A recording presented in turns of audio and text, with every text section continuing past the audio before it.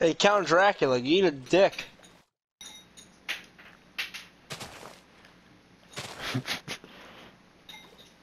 That's gonna be another Steve Says video. hey, Count Dracula. You eat a dick.